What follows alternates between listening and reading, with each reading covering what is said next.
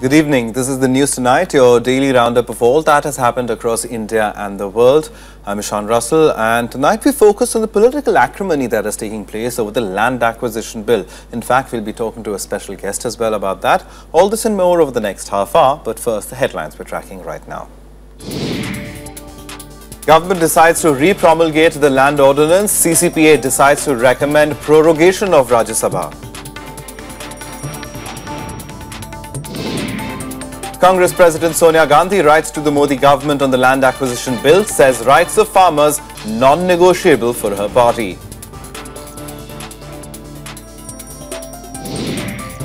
Crisis in the Aam Aadmi Party peaks. Senior leaders Yogendra Yadav and Prashant Bhushan allege that they're being forced out of the party. Prime Minister Narendra Modi outlines his government's energy reforms, steps aimed at cutting dependence on energy imports by 10% by the year 2022. And fears of a conflict in Yemen spilling over into a regional war. Saudi-led coalition jets pound Iran-backed Houthi rebel targets for a second day.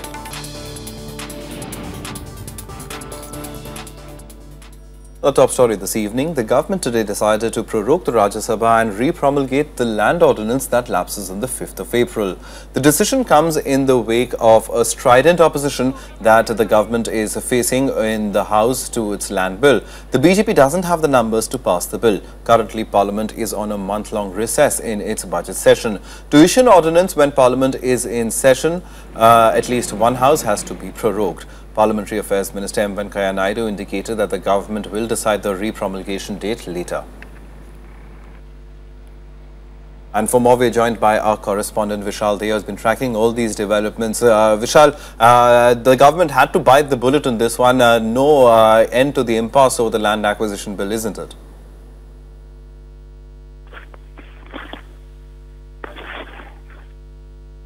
Vishal, can you hear me?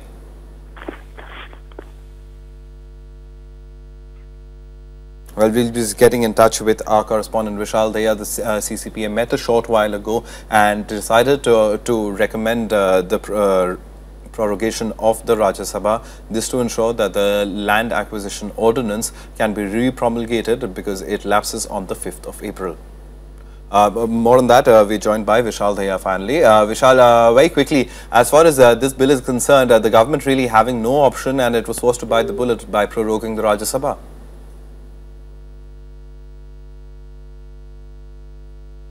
All right, we seem to have lost the audio link with Vishal Daya. Uh, moving on now, Congress President Sonia Gandhi today hit out at the India government on the land acquisition bill. She said categorically that her party will never endorse any law that, according to her, will break the backbone of this nation. The Congress president is indicating that she will not yield on the controversial land bill. Calling the government's consensus building exercise a myopic exercise, Sonia Gandhi wrote to Union Minister Nitin Gadkari alleging that the Modi government was bending backwards to favor industrialists. She demanded that the UPA's legislation should be brought back in totality. Sonia's letter says the unabashed display of half-truths and misrepresentations is typical of the government and that fighting for the rights of farmers is non-negotiable for her party. She also decried the government's attempt to paint those opposing its land bill as anti-nationals while asking the government to rise above narrow-minded politics. चाहे कितनी भी बाधाएं आ जाएं मगर देश के हित के लिए देश के किसान के हित के लिए सभी को लेकर चलेंगे जितने भी स्टेक होल्डर्स हैं उनकी जो भी विचार है सबको सुना जा रहा है 2013 में आनंद फानन में जैसे प्रधानमंत्री जी ने कहा आनंद फानन में एक कानून लाया गया था सभी के विषयों को सुनते हुए ये कानून चिंता किया जाएगा। कहीं ना कहीं, आज रूरल डेवलपमेंट मिनिस्टर को ये लग रहा है अभी कहीं ना कहीं इस बिल में किसानों के साथ धक्का हो रहा है। ये दो कैबिनेट मंत्रियों का बयान है। इसलिए कहीं ना कहीं ये बात गवर्नमेंट के भी समझ आ चुकी है, मोदी जी की भी समझ आ चुकी है। इस बिल पे वो हंड्रेड परसेंट पीछे हटेंगे। Sonia's letter was in response to Gadkari's own letter last week to Sonia Gandhi and leaders of other opposition parties inviting them to an open debate on the land bill. Gadkari insisted that the bill was very much in the farmers' interests. She said it was regrettable that anyone championing the cause of distressed farmers and needy farm laborers was being branded as anti-national by a myopic Modi government bending backwards to favor select industrialists. The letter also says that the fundamental difference between the Congress and the BJP is in understanding farmers' distress and loss of livelihood by acquisition of land without safeguards. Bureau Report, Rajya Sabha TV.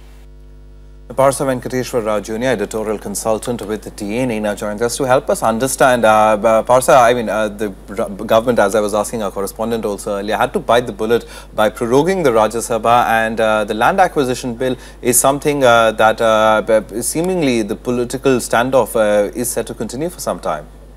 I think it's basically, it's become a, a political battle between the BJP on the one hand and the Congress and other um, left parties on the other.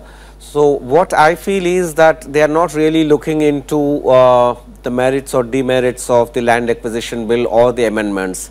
Uh, if there were to be an open uh, debate and each side would were to put uh, uh, across their points of view as to why they hold on to their particular, particular stand, it would be an informed debate. But I do not think uh, they are willing to do that. Mm. This has become some sort of a political um, fisticuffs mm. uh, with the BJP trying to project itself as one which is um, uh, trying to uh, push for economic growth and the need to do, uh, to do, do so by uh, amending this law and the Congress and the other opposition parties trying to say that they are farmer friendly and that they want to resist this kind of a thing. But I think there is there are some real issues in the land acquisition bill uh, which need to be discussed and all the aspects were not included in the uh, 2013 bill. Mm -hmm. So that leaves it open and I don't know why uh, they are not willing to discuss because once you come to a discussion on the technicalities, it will be realized that uh, there is not much of a difference and each one can accommodate the other. But I think the BJP wants to score a political brownie point and the Congress and the other parties want to do the same. All right, so that leaves uh, a typical standoff uh, sort of situation. But uh, if, if you look at uh, what the government is now planning to do, repromulgate the ordinance, there were amendments that were proposed. There were, in fact, allies who of the government who were opposed to the bill but said uh, an amendment amended bill can be talked about. So do you expect major changes in the bill and uh, perhaps that could be a way out of this kind of a standoff? I think to start with, the government was um, was in haste and uh, unthinking when it brought uh, the ordinance. Uh, they should have known that this is a major uh, issue and that it need to be discussed and you can't push it uh, through uh, in a hurry. Mm -hmm. So once having got the ordinance, they introduced the bill knowing full well that they don't have the numbers in Rajya Sabha. Now, proroguing the parliament uh, during the midway through the budget session and uh, wanting to repromulgate the ordinance doesn't really solve the problem. It mm. buys time for the government mm. because at the end of another six months, the government has to find a strategy, come back to the parliament to get the bill passed mm. because the ordinance is not a permanent solution.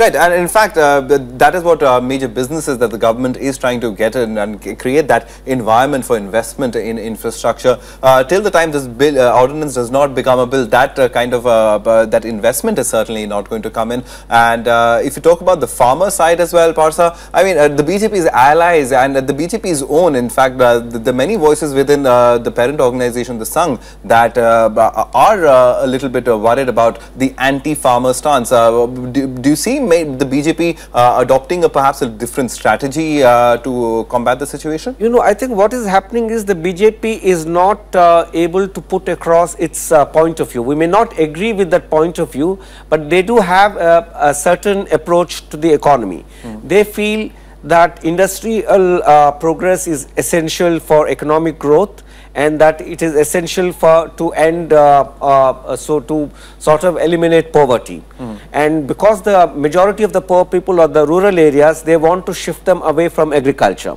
now that is their approach and they should explain that approach instead of saying that we are giving uh, more money to the farmers and all that mm. the second thing they have done is they have done away with uh, the uh, social impact uh, assessment thing and they have also taken away the consent clause mm. Now they have to explain that look in certain areas it will be difficult to arrive at consent and so the government will uh, consult with the farmers, but will not wait for that kind of a 80 percent, 70 percent consent because then the projects will be delayed. Mm. For that, they'll have to reach out to the farming uh, lobbies, farming communities and to the other parties and be honest in explaining uh, uh, the difficulties as to why they have to do it.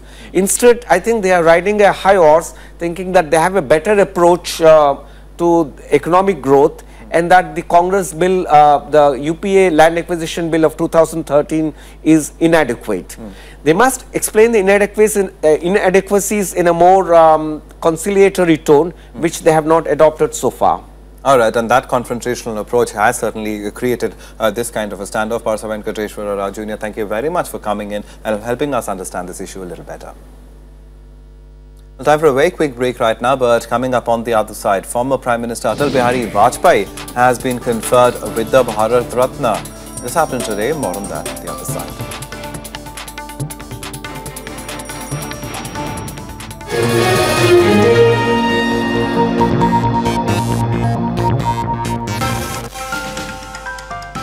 In the Maths Factor, we travel through time and space and see how maths has evolved and how it is a part of the world around us.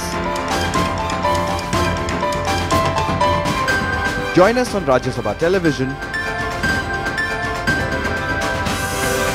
Watch the Maths Factor every Sunday at 8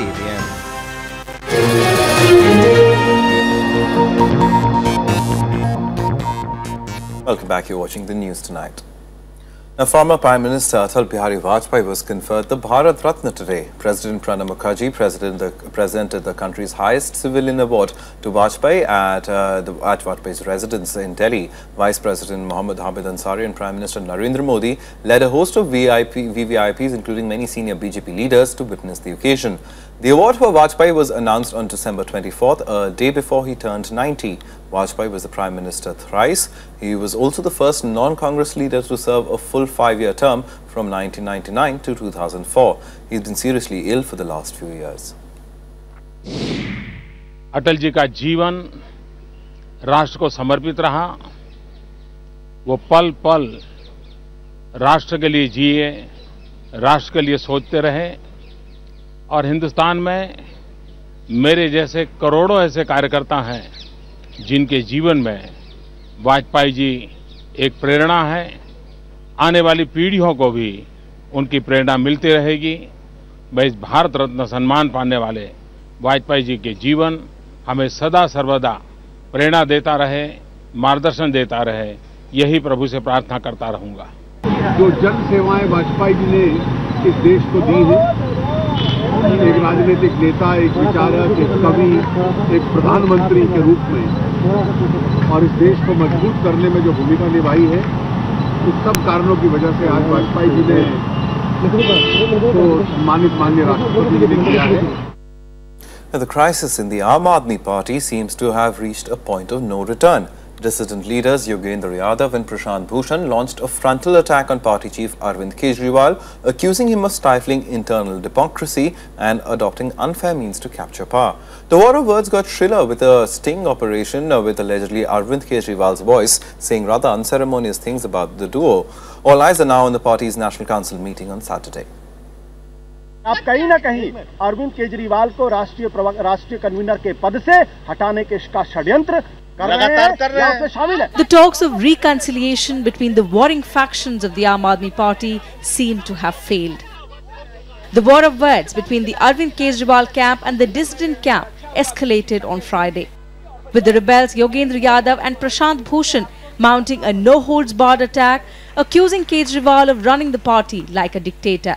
हमने कहा था 17 तारीख को note देके कि अगर ये पाँचों चीज़ों में न्यूनतम जो हमने डिफाइन किया है वो पार्टी स्वीकार कर लेती है तो ये नहीं हम हर पद छोड़ने को तैयार हैं Both addressed the press on Friday where they claimed they were being forced out for demanding more transparency and internal democracy. उन्होंने बोला बाकी चीज़ें तो ठीक है लेकिन पार्टी के शीर्ष नेतृत्व के ऊपर अगर कोई सवाल उठता है किसी भी मुद्दे से, वो मुद्दा तो आपको बिल्कुल मेंशन भी नहीं करना चाहिए। और बार बार यही बोला गया कि आप लोग इस्तीफा दे दीजिए, बाकी चीज़ें हम लोग देख लेंगे अब ये हम लोगों को इस्तीफा दिलवाने की पेशकश बार बार इतनी ज़ोर से क्यों करी जा रही है? किसके कहने पर करी जा रही है? The Aam Aadmi Party leaders, in response, accused the two founding members of lobbying with rival groups in anti-party activities. उन्होंने ये तो बताया कि हम कांग्रेस के साथ दिल्ली में सरकार बनाने की कोशिश कर रहे थे और इसको जब एलजी को चिट्ठी लिखी तब भी हम लोगों ने माना था उसके बाद अभी जब ये एस्टिंग वाली बात आई थी उस समय भी पूछा गया उस समय भी माना था पूरी राष्ट्रीय कार्यकारिणी ने और इसके लिए वोटिंग हुई थी ये बात उन्होंने नहीं बताया देश के कार्यकर्ताओं को गलत संदेश और देश की जनता को गलत जानकारी नहीं देनी चाहिए ये मेरा निवेदन है उनसे All the mudslinging between the two factions came just a day ahead of the party's crucial National Council meet, with party sources claiming that the removal of the two dissident leaders from the party is imminent. Bureau Report, Rajya Sabha TV. Prime Minister Narendra Modi on Friday appealed to well-off people to give up uh, on subsidized cooking gas. Addressing an energy summit called the Urja Sangam in Delhi, Modi also expressed his government's uh, efforts in uh, reducing dependence on energy imports by 10% by the year 2022. Pitching for an energy sufficient nation, Prime Minister Narendra Modi has appealed to people to work towards cutting its dependence on energy imports. आज हम ऊर्जा के क्षेत्र में करीब करीब 77 percent import करते हैं। ऑयल और गैस और पेट्रोलियम सेक्टर में।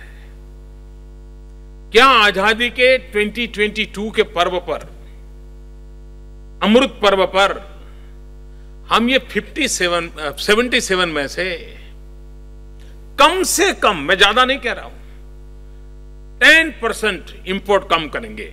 Modi outlined his government's energy reforms in the past 10 months. He said they helped 2.8 lakh consumers surrender the LPG subsidy and effect a savings of over 100 crore. Modi also said the Petroleum Ministry will implement the world's largest cash transfer scheme in LPG in the next 100 days, mainly by implementing the Jan Dhan scheme to transfer subsidy directly to consumers. He also outlined the government's plan to increase coverage of piped natural gas from the current 2.7 million households to 10 million over the next four years. Modi said his government is committed to expanding India's gas grid network to cover untouched areas in the eastern parts of the country.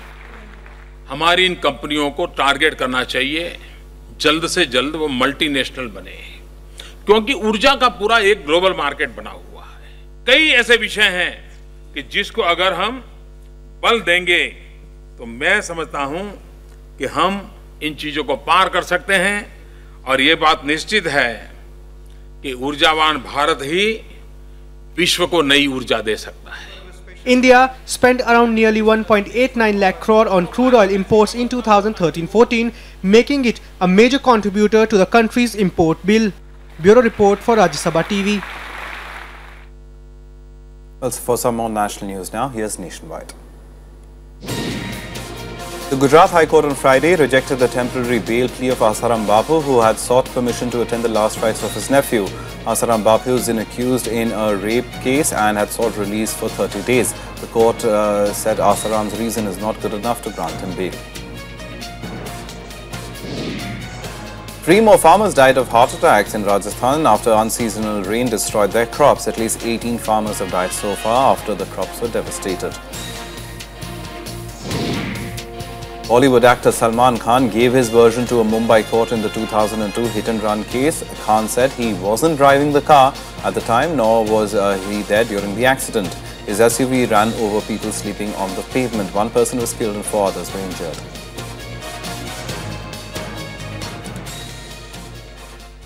Some international news now. A coalition of Middle East forces continues to launch airstrikes against Shia Houthi rebels in Yemen.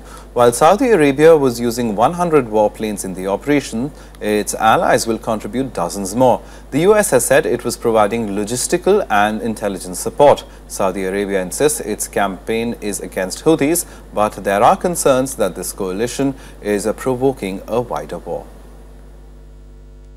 On day two of the Saudi-led airstrikes in Yemen, at least 15 locations were pounded. They included rebel positions in capital Sana'a and an airbase near the port city of Aden. Ten people died in the northwestern Sada province, the home of Abdul-Malik al-Houthi, the supreme leader of Houthi Shiite insurgents. Houthi rebels also responded with intensified anti-aircraft artillery. حاليا ليس في المراحل الحالية أي تخطيط لعمليات قوات برية ولكن لو استدعى الأمر فالقوات البرية السعودية جاهزة وقوات الدول الصديقة والقوى الشقيقة جاهزة وسوف يرد أي عدوان من أي نوع. One of my biggest concerns about leading from behind is coming true. That the vacuum created by America's failure to lead in the Mideast is setting in motion a calamity that could result in a bloodletting between Sunnis and Shias that we haven't seen in a thousand years. Meanwhile, Yemen's president Abdurabu Mansur Hadi resurfaced in Saudi Arabia's capital Riyadh after fleeing rebel forces in Aden. He was under house arrest in Sana'a after Houthis took control of the capital. Now, as airstrikes continue, he will go to Egypt for an Arab League summit on Saturday as the legitimate Yemeni president. Saudi Arabia says it is defending the legitimate government of President Hadi. Again, we understand the Saudis' concerns. That, that we understand the, the, the, the, the threat that they perceive uh, on their border, uh, to which they're responding. Um, so, you know, and we're we're supportive of their efforts uh, to address that. Our our our uh, ultimate goal remains uh, a political negotiation process. Meanwhile, Shia power Iran, which Sunni ruled Saudi Arabia accuses of backing the rebels, also demanded an immediate halt to the strikes. But Turkey accused Iran of trying to dominate the region. Bir Şii-Sünni çatışmasına bu dönüşmüştür. Ve biz bu mezhepsel çatışmaların hiçbirine olumlu bakmıyoruz. Bunların karşısındayız. Düşünün ki Yemen kendi içinde maalesef bir bölünmeye doğru gidiyor. The Houthis say their aim is to replace Hadi's government, which they allege is corrupt. Hundreds of them staged a rally in Sana'a after the Thursday airstrikes that killed 18 people. The conflict that pulls in regional powers could disrupt global oil supplies. Already, the price of Brent crude rose almost 6% after the strikes began. Bureau Report, Rajya Sabha TV. Investigators are looking for answers as to why co-pilot Andreas Lubitz apparently slammed the Germanwings flight 9525 into a mountainside in the French Alps. Teams are still looking for the second black box. Searches meanwhile suggest that Lubitz may have been mentally unfit to fly. Investigators found rip leave notes issued by a doctor for Lubitz, including the day of the crash, that indicate Lubitz was under treatment for some time. Emergency teams are continuing their search and recovery after the Germanwings flight crashed into an alpine mountain, killing all 150 people on board. The second black box is still missing. It is expected to shed more light on the plane's final minutes. Meanwhile, European Airlines has framed new airline rules that require at least two crew members to be present in the cockpit all the time. Ich halte die Idee des Vier-Augen-Prinzips für eine grundsätzlich richtige. Ähm, damit äh, kann man äh, dafür sorgen, dass äh, es eine Situation ähm, des Aussperrens nicht mehr so einfach gibt aus dem Cockpit. Yo estoy tranquila, creo que ahora mismo es la compañía más segura para volar, pero creo que sí, que se debería tomar alguna medida de alguna forma o un tercer piloto o, o, que se pudiera abrir de alguna forma especial, tanto por si hay algún, algún acto terrorista fuera de, de cabina como si lo está dentro. Meanwhile, the focus has moved from the mechanics to the man flying the plane. German investigators searched two homes linked to Andreas Lubitz, the Germanwings co-pilot who is accused of intentionally setting the plane on a fatal descent. Lubitz's family home in Montabaur and his apartment in Dusseldorf were searched, after which it has emerged that Lubitz hid the details of an existing illness from his employers. Officials have found torn up sick notes in his home, including one covering the day of the crash. However, the nature of Lubitz's illness has not been revealed. Allerdings wurden Dokumente medizinischen Inhalts sichergestellt, die auf eine bestehende Erkrankung und entsprechende ärztliche Behandlung hinwiesen.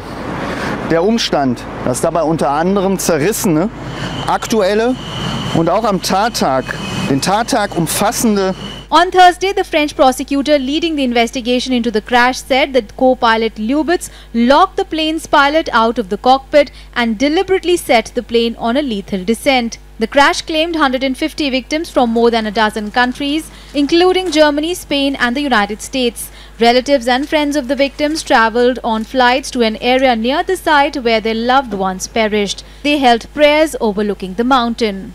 Bureau Report, Rajya Sabha TV. Well, some more international news and updates in Global Buzz. China today pledged to deepen anti-terrorism, maritime security and military technology cooperation with Pakistan.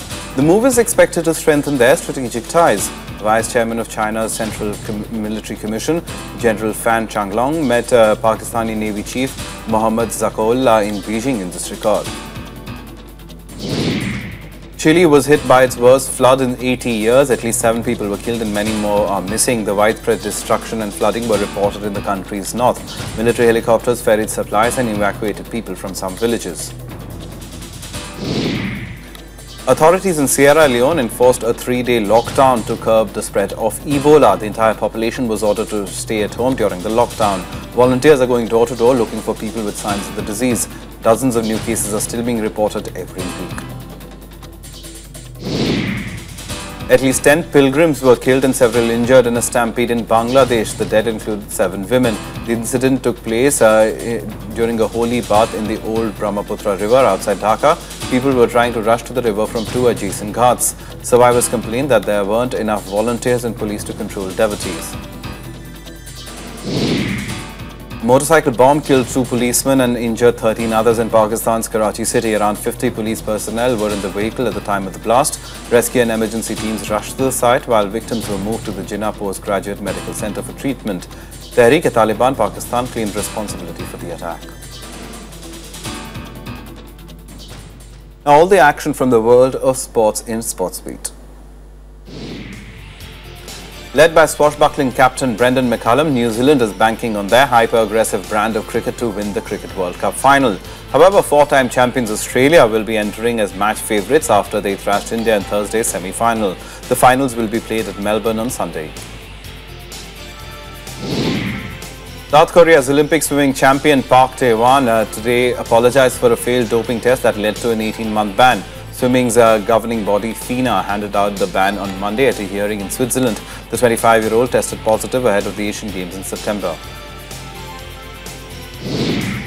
A Spanish daily reports that Barcelona legend Xavi will sign uh, with Qatari outfit Al Sadd at the end of the current La Liga season. This will end his 24-year association with Barcelona that he joined as an 11-year-old. The 2010 World Player of the Year will head to Qatar on a three-year deal. He will be paid $11 million a year. Argentin Argentinian Juan, Patro, uh, Juan Martin Del Potro fell to Canada's uh, Vasek Pospisil in a 6-4-7-6 in the second round of the Miami Open. Del Potro was uh, playing his first match since having surgery on his wrist in March. Del Potro in, uh, played in just four matches in 2014 before undergoing the surgery and is currently ranked number 616. Defending MotoGP World Champion Marc Marquez put up a dominant performance to top timesheets in the first practice of the new season in Qatar. Marc Marquez, who cruised to the world title in his maiden session in MotoGP in 2014, ended the session eh, in first with a time of 1 minute 55 seconds at the Losail International Circuit in Doha. That's the news tonight. Good night. Thank you.